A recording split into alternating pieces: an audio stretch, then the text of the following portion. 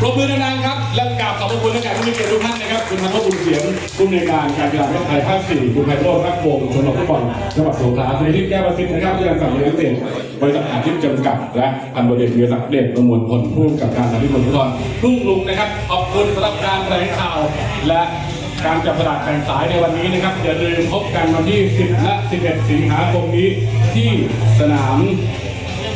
กีฬาเมืองหลักภาคใต้ทุกครั้งข่าวนะครับ และถ่ายทอดสดทางแฟนเพจเฟซบุ๊กฟุตบอลร้อยแปดและยูทูบฟุตบอลร้อยแปดนะครับการแข่งขันในรายการนี้นะครับถ้วยเกียรติยศถ้วยรางวัลชนะเลิศเป็นถ้วยจากผู้ว่าการการกีฬาแห่งไทยดรต้องศักดิ์ยอดมณีนะครับขอบคุณผู้สนับสนุนกระทรวงการกีฬาการกีฬาแห่งไทยภาคสี่รถฟุตบอลมอลเทนและบริษัทอาซิกจำกัด